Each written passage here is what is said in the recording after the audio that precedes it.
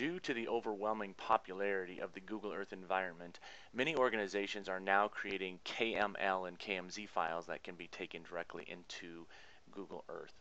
We're going to show you how to bring KML and KMZ files from the internet into your Google Earth environment.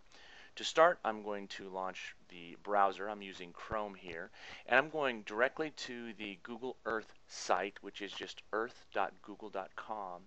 And from this site, I can take and come over to the navigation on the left, and I'm going to click on the gallery link. Now the gallery is where Google has, has taken and housed many different KML files that you can come in and download.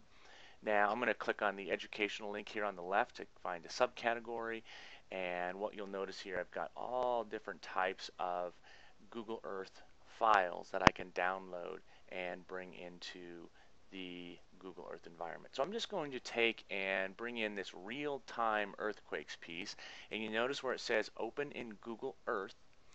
I'm going to click on that and again you'll notice that down in my browser in Chrome it's going to handle it as a downloadable file. I can click on this. If you're using a little a different browser it may handle it a little differently but it still should give you the option to click click on that and again what you'll notice is I've got a new legend here on the uh, left hand side.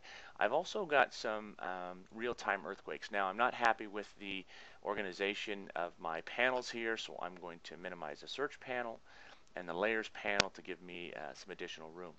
Now this is another file that I downloaded earlier. I don't want this on any longer so I'm going to uncheck it to turn it off I'm going to click on the minus sign to contract that file and now this is the only one that is open.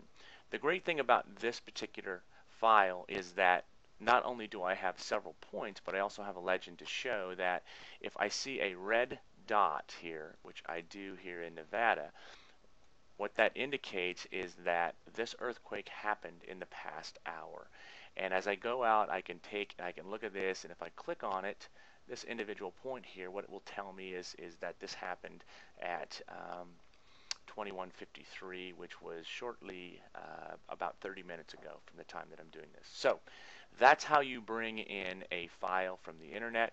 There are many other sites, and my suggestion is that if you're looking for a particular site, go to Google and you type in the topic and you follow it with a KML or KMZ file. You may have to look a little bit, but the likelihood that a file exists out there is becoming uh, more and more uh, possible.